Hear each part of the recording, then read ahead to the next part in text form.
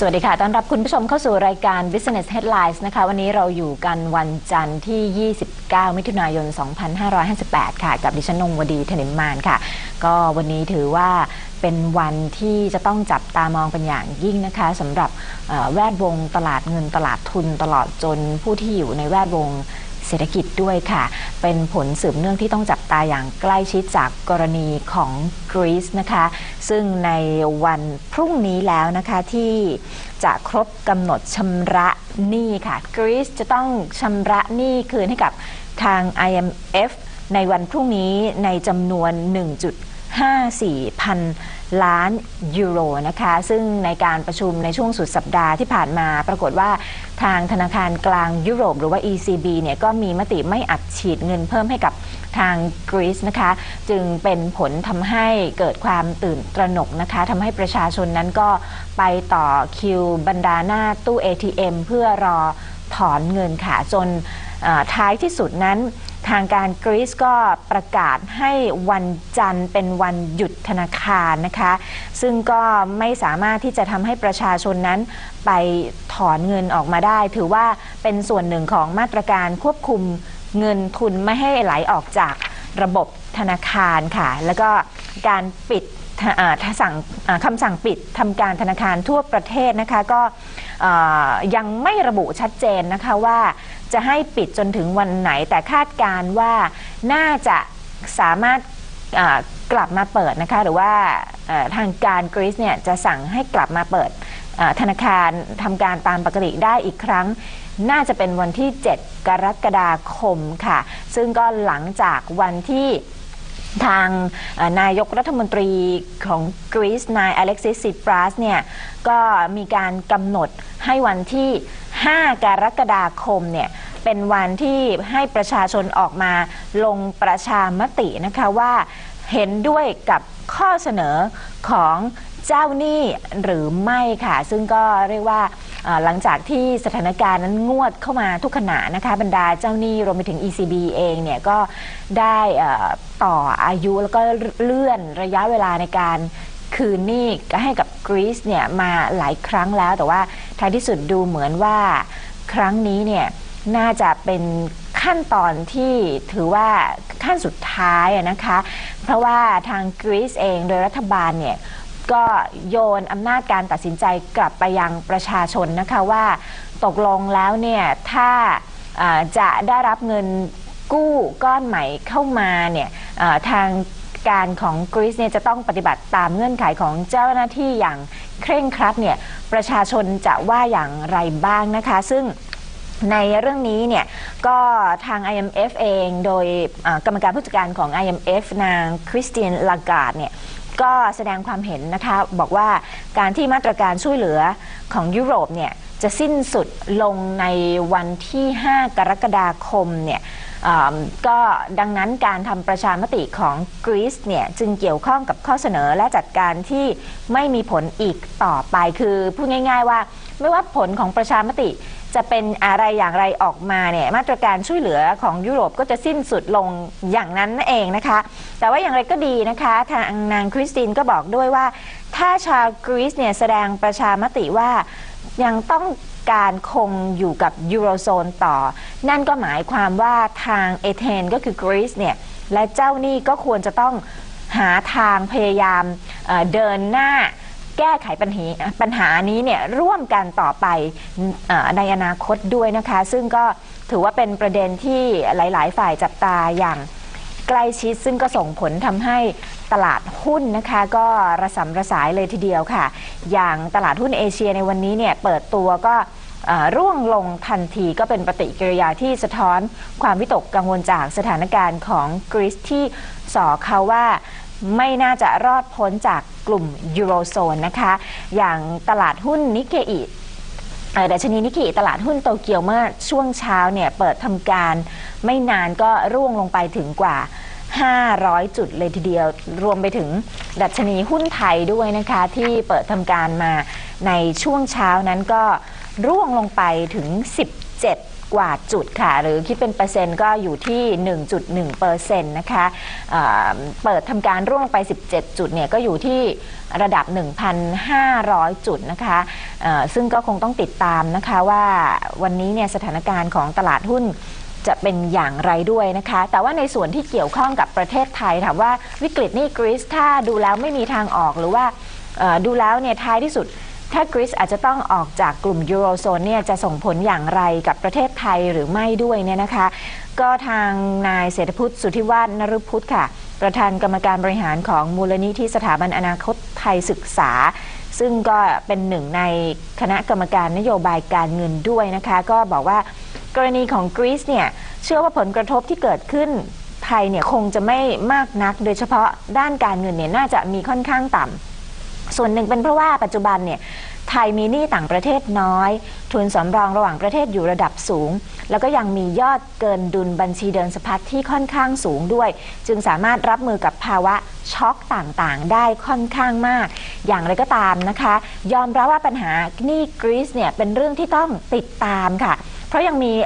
เรื่องที่น่าเป็นห่วงหลายด้านแล้วก็ยังมองไม่ออกด้วยว่าจะเกิดอะไรขึ้นบ้าง แต่โดยรวมเชื่อว่าถ้ากรีซมีปัญหาขึ้นมา ไม่ว่าจะเป็นการ default หนี้หรือว่าผิดชำระหนี้หรือเลวร้ายที่สุดก็คือถึงขั้นว่าต้องออกจากการเป็นสมาชิกกลุ่มยูโรโซนเลยเนี่ยคุณเศรษฐพุทธบอกว่า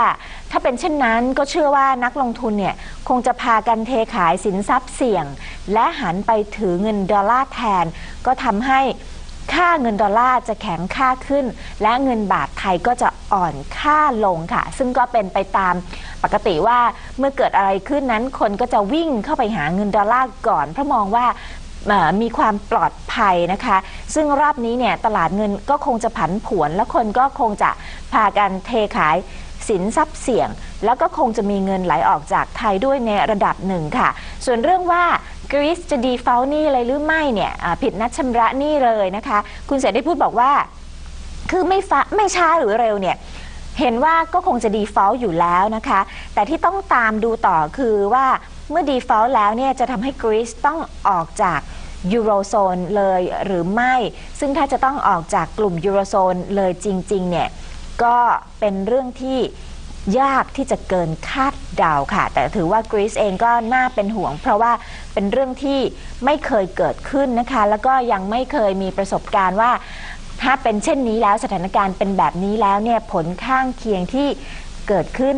จะเป็นอย่างไรนะคะ ซึ่งก็คงจะต้องติดตามกันค่ะ คุณเศรษฐพุทธย้อนไปด้วยว่า อย่างเมื่อตอนที่ประเทศไทยเผชิญวิกฤตการณ์ต้มยำกุ้งเมื่อปี 40 เนี่ยนะคะ ตอนนั้นเนี่ยก็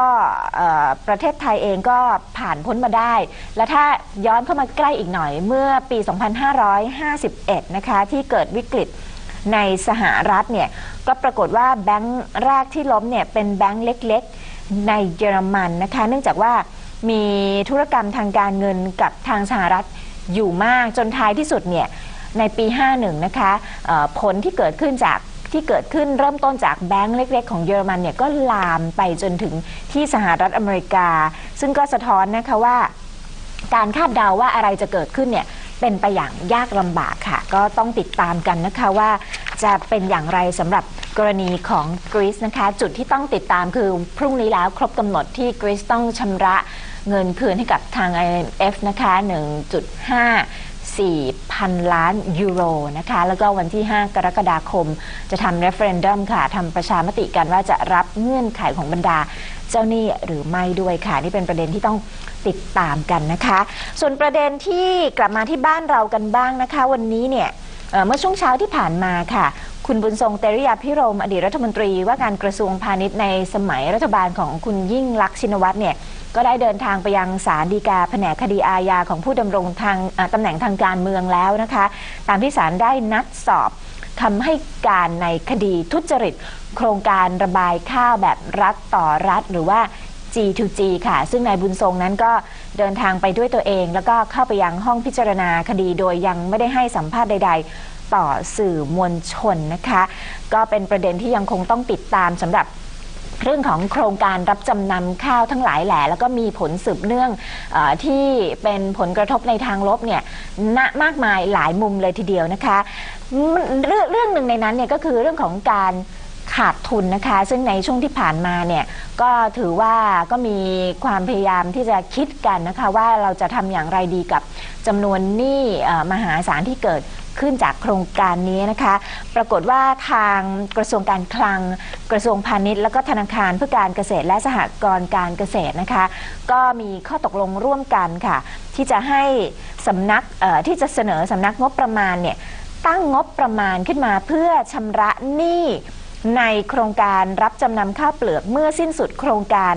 งวดแรกในสัดส่วน 25%ของหนี้ทั้งหมด หรือคิด เป็นงบประมาณกว่า 1 0 0 0 0แสนล้านบาทนะคะ ซึ่งในส่วนนี้คุณสมศักดิ์โชตรัตนสิริค่ะ ผู้อำนวยการสำนักงบประมาณนะคะ ก็บอกว่าบอกตอนนี้ยังบอกไม่ได้ว่าจะตั้งงบประมาณชำระหนี้จำนำข้าวงวดแรก 25%ของเงินกู้เนี่ยไปใช้ในปีไหน เพราะว่ายังไม่ปิดโครงการและข้าวก็ยังขายไม่หมด อย่างเช่นว่าถ้าหากขาดทุน 6 แสนล้านบาท ก็ต้องตั้งงบกว่าแสนล้านบาท ซึ่งสำนักงบประมาณก็ต้องพิจารณากำลังเงินว่าไหวหรือไม่ หากไม่ไหวเนี่ยก็ต้องตั้งงบจ่ายดอกเบี้ยไปก่อนนะคะ ซึ่งภาระตอนนี้อยู่ที่ประมาณ 20,000 ล้านบาทต่อปีค่ะ แล้วก็ยอมรับด้วยว่ารัฐบาลเนี่ยจำเป็นจะต้องจัดทำงบประมาณแบบขาดดุลออกไปอีกหลายปี เพื่อนำงบประมาณไปใช้ในการลงทุนโครงสร้างพื้นฐานต่างๆ อย่างเช่นระบบคมนาคม ขนส่ง ระบบน้ำ และไหนยังจะมีภาระที่จะต้องตั้งงบประมาณ เพื่อชำระหนี้จำนำข้าวอีกนะคะ ก็เป็นความเห็นที่ทางคุณสมศักดิ์นะคะผู้อำนวยการสำนักงบประมาณบอกว่า ก็มีความจำเป็นนะคะที่รัฐบาลจะต้องทำงบประมาณแบบขาดดุลเนี่ยออกไปนะคะ เพราะว่าจะต้องนำไปใช้ในโครงการต่างๆ แล้วก็ต้องกลับมาชำระหนี้อีกด้วยค่ะ ซึ่งทางผู้อำนวยการสำนักงบนะคะท่านบอกว่าทฤษฎีจากท่านผู้รู้ทั้งหลายเนี่ย ก็เห็นว่าควรจะกระตุ้นเศรษฐกิจด้วยการเพิ่มรายจ่าย ลงทุนทำให้เป็นไปได้ที่จะขยายกรอบปีงบสมดุลในปี 2560 ออกไปค่ะ แล้วก็ที่ประชุมของ 4 หน่วยงานเนี่ยก็มีความเห็นใกล้เคียงกันด้วยนะคะว่าน่าจะต้องขยายให้มี การลงทุนค่ะ ซึ่งนอกจากนี้เนี่ยสำนักงบประมาณเองก็ยังได้จัดทำแผนงบประมาณระยะยาว ระหว่างปี 2558 ถึง 2569 ด้วย โดยกำหนดว่าให้ตั้งแต่ปีงบประมาณ 59 จนถึงปี 69 เนี่ยต้องการงบลงทุนไว้ในสัดส่วนไม่ต่ำกว่า 20%ของงบประมาณรายจ่ายแต่ละปีค่ะ โดยเฉพาะในปี 69 นะคะ คาดว่างบรายจ่ายของประเทศจะอยู่ในระดับใกล้เคียง 4 ล้านล้านบาทนะคะ ซึ่งก็เป็น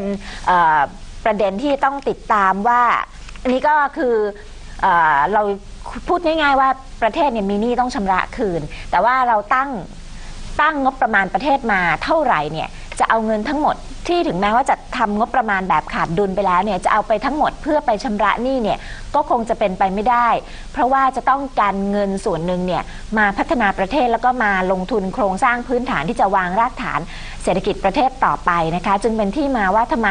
ออทางสำนักงบถึงออกแนวคิดมาว่า อย่างไรก็ตามเนี่ยตั้งงบมาในแต่ละปีแต่ละปีเนี่ยงบประมาณประจำปีเนี่ยอย่างน้อยควรจะตั้ง